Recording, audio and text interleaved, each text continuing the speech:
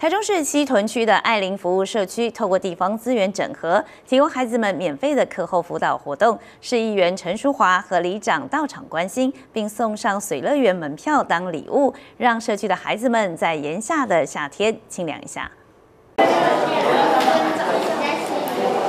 小朋友们认真写着作业。这里是西屯区的爱林服务社区，市议员陈淑华跟和福里长何淑玲今天送来水乐园门票，让孩子们在暑假尾声好好玩个痛快。那这一次呢，在暑假的尾声，我们也特别在跟何淑玲里长一起结合地方的资源，提供给我们重庆教会需要家庭的孩童们，在暑期的尾声，一个可以跟家长去清水活动的机会。除了这次的水乐园活动，明代也会整合地方资源，让孩子参与多元活动。此外，在平常开学上课日，和福里爱林社区也会提供免费的课后辅导，让孩子。学习进度不打折。我们爱林服务社区都长期啊，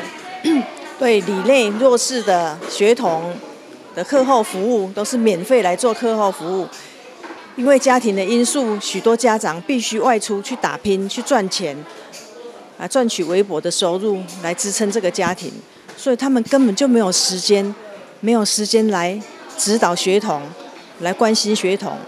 社区内的客服年龄范围从国小到国中，另外在暑假也有其他好玩的夏令营，让当地社区的孩子在父母忙碌工作之余，也不会无聊没事做。老师就是早上或是下午，他们都会放影片给我们看，我们都来这边写功课、玩游戏。还有补习。嗯，艾琳的生辅班，呃，已经服务二十年了。那我们目前就是从国小服务到国中，在学期中我们会接待他们下课来到教会写功课，那服务他们完成就是他们联络部上面老师交办的事项。教育对孩子来说非常重要，借由爱林社区的资源提供，不仅让他们得到课后照顾和学习，现在又有水乐园门票，让他们不只有学习，还能与家人有放松的休闲时光。